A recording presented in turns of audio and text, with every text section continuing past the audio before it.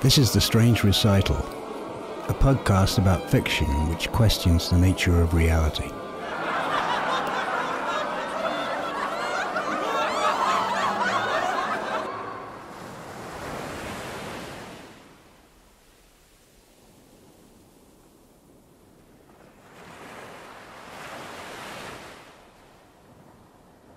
The moon is winking at me through the clouds. Stuva Grundlig stood on a bluff overlooking the sea. This was a sign, this winking moon. Tomorrow they would go. They'd been ready for three weeks, but during that time there had never been a correct moment. He'd been waiting impatiently and keeping everyone else on tenterhooks. The sign in the dark sky above him was neither favourable nor malign, but it beckoned, and he could not resist. Stuva was bearded and powerfully built, with a weakness that made him susceptible to exciting propositions. So this was it. Tomorrow they would leave.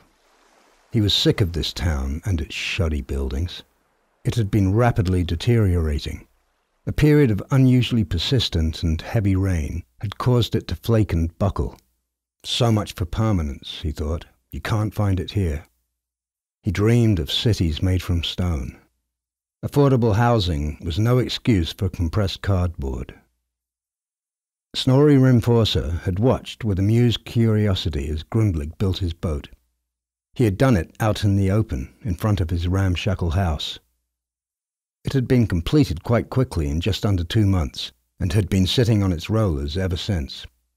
Grundlig had worked on it tirelessly through the daylight hours. He occasionally had help from Hektar and Jensjö, and from other discontents. Stuva Grundlig was unabashedly vocal about his ideas, which usually involved masonry and the merits of stone houses. He'd become the unofficial voice of the disaffected, their tribune in a way. He'd constructed the hull of his boat from ferrous concrete. Where he'd managed to get the steel from was anyone's guess, as real metal was hard to come by these days. What was readily available were alloys, which seemed to grow lighter every year. Snorri wondered if there was not some secret process which made possible the melding of metals and plastics. The plastic component seemed to increase with time. He was beginning to sound like Grundlig. Snorri Rimforsa was a retired policeman. He had joined the force young, had done his twenty years, and now, still in his forties, was able to lead a modest but comfortable existence in the small house over the road from his boat-building neighbour. The off-white hull glistened. Grundlig must have oiled or painted it with a sealant. Snorri had watched him sand it down for hours at a time until the surface was perfectly smooth. He had to admit that Grundlig had done an excellent job. Despite the more anarchic aspects of his character, he had a single-minded focus that enabled him to do everything well. He'd always been that way, even as a boy. They had grown up together, not far from where they were now. People were arriving at Grundlig's house. Hektar and Jensjö were already there. Varvent came around the corner and nodded to him as he passed. Snorri was sitting on his porch. His policeman's eye, still sharp after all these years, took in the goings-on across the street. The door clattered shut. Grundlig was coming down the path towards the boat. He was carrying a heavy barrel with Stenstorp. They heaved it over the gunwale, laughing and swearing. Grundlig looked happy.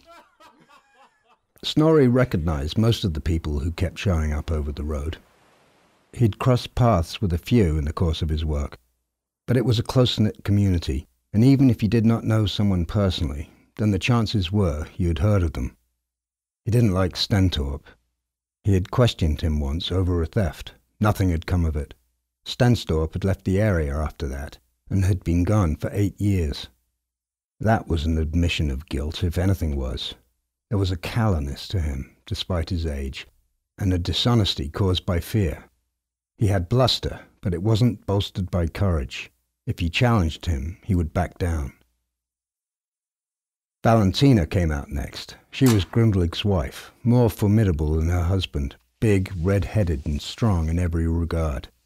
She lugged a bulging sack down the path and swung it into the boat. There were two men on board who received it, Strandmon and Preben. Grundlig was barking instructions to them in his stentorian voice on how to stow the load. He had the even distribution of weight in mind. From his porch, Snorri watched them work. It was a small boat. He counted thirteen rowing benches. Grundlig had built a carver. What could he be up to? There was a name painted in red near the prow. He strained his eyes to read it. Antifoni. He hadn't noticed this before. It must have been a recent addition. He wondered what Grundlig was trying to say by using this name. It implied a call and response. Snorri, with his analytical bent, had the sense that Grundlig had been shouting into the wind, a man alone with his ideas. But now the gathering of people in his garden was the response he needed. It created a completeness, where a multitude of disparate parts became aware of each other and functioned as one, resulting in a higher level of meaning than any one of them could have provided alone. It was a completeness usually associated with music, hence the name. Snorri could see that this was a turning point where thought became action, and it was all centered upon the boat. As he sat there on his porch, he was moved with emotion and felt tears in his eyes. The vessel was now loaded, and Grundlig stood with a large bottle of wine in his hands, surrounded by his shipmates. Snorri started to count them. It was tricky, as they kept moving around, but after several attempts he settled on the number 26, including Grundlig, who still held the unopened bottle. He seemed to be waiting for something. What he was waiting for became apparent presently when Urfjell shuffled into the yard. He was probably the strangest person in the town, barely half the height of most men. He wore a sleeveless leather coat. A raven was tethered to a ring on his shoulder. The bird had slashed his right cheek with its talons and shat down his back, but he was unperturbed. He was tough through and through, no pretense. That quality of toughness was no doubt honed by the necessities of survival. Beyond it was another quality, much more nefarious and hard to describe. He seemed to have the ability to look into other places, those not bound by the physical world. You would never have known it from his weather-beaten face and foul mouth, but if you became familiar with him, you could detect it, in his stance, or in his eyes, or even in the odd word that punctuated his curses. Once Urfjell had joined them, Grundlig relaxed and brought a closed fist down on the little man's head with a burst of laughter.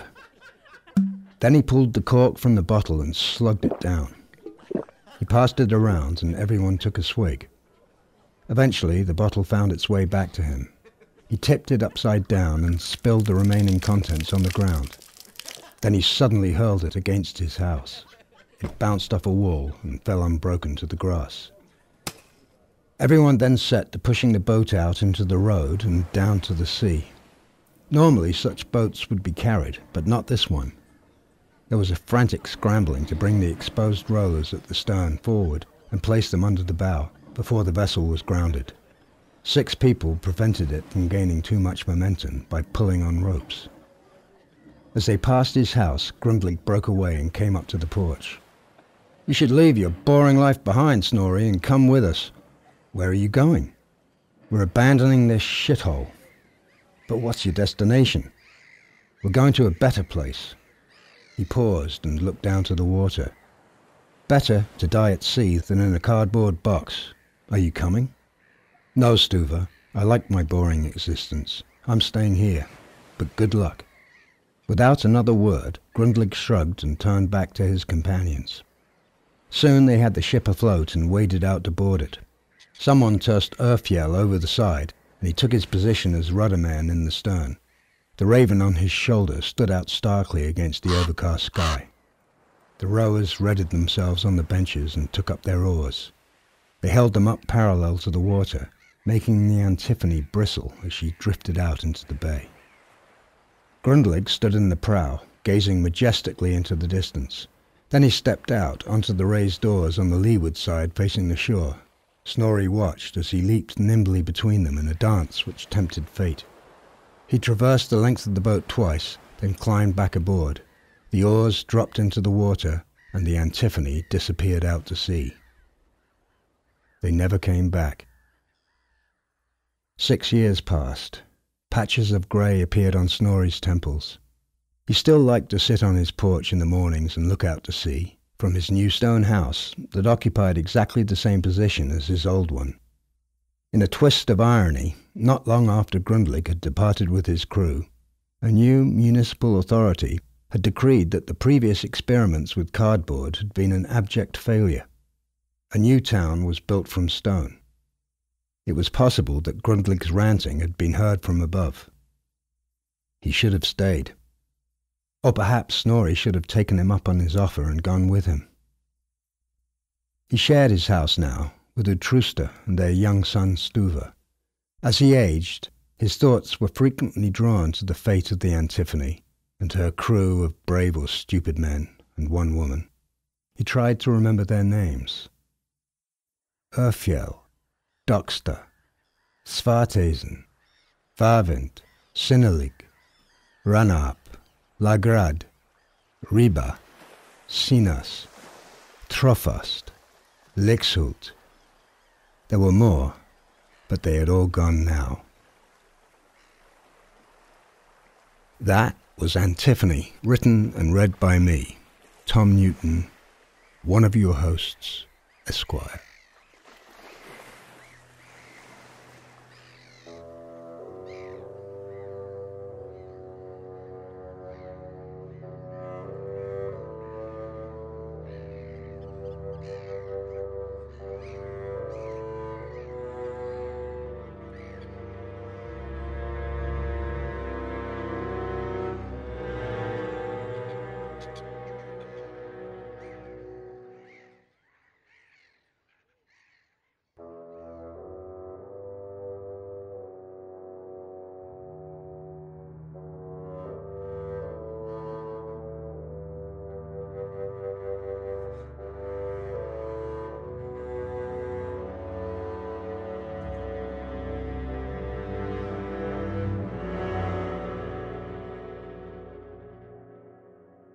Hi, do you still want to talk about that story? Looks like you're busy. Well, if you don't mind talking while I assemble this thing, I've got to finish it and I haven't really started. What is it?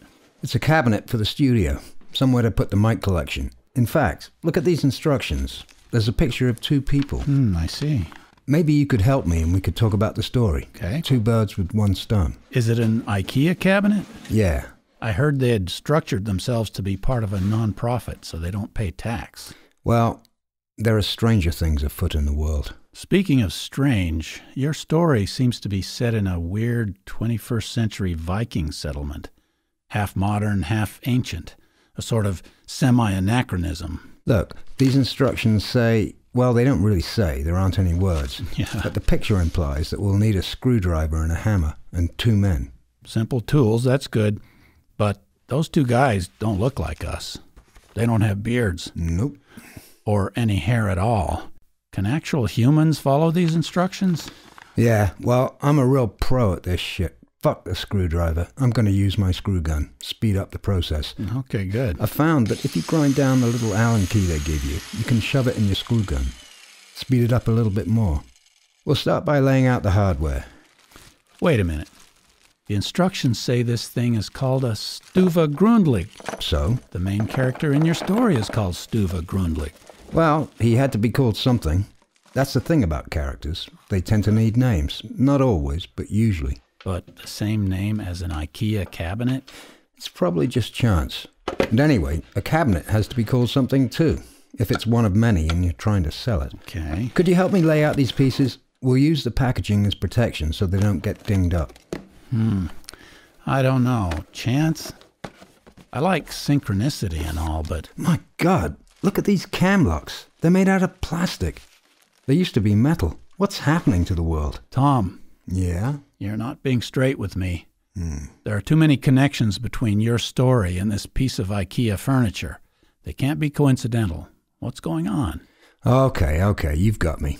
I wasn't going to tell you. I didn't want you to get any preconceived ideas. Mm-hmm. You see, in my work as a prop guy, I've built tons of this stuff. One time we had a tractor trailer load of it to build. It filled a whole stage. Took a few days. As each piece was made, we cut out the name from the packaging and taped it on so we could identify it later. When all the furniture was built, I walked around and looked at the names. Okay. It suddenly occurred to me that these furniture names could be the names of characters in a story. And that became Antifoni, another IKEA name, I might add. Ah, and each character has the deep symbolic essence of the piece of furniture he's named for, right? No, nothing so serious as that. There's not much more to say, just having some fun.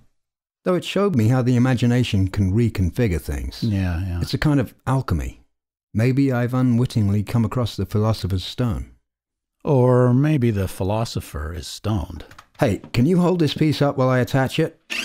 Ah, now we're getting somewhere. Okay.